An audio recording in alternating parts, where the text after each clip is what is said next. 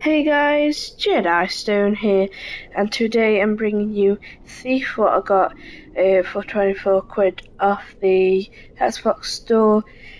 And today I'm going to show you a tutorial on how to do this light scroll thing. So let's get into it.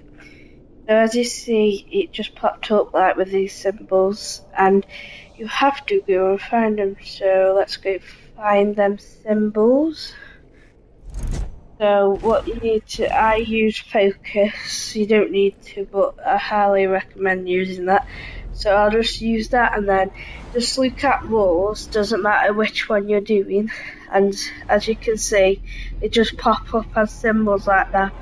Once you find like four of them, I think, um, you go back to here and then they should pop up like that. And then, then you have to turn it to the like thing. Oh, oops, um, didn't mean to do that. Turn it to like where I'm turning it now. So turn it round to there. And um, just do the last one. Then just place it down, and then you're done.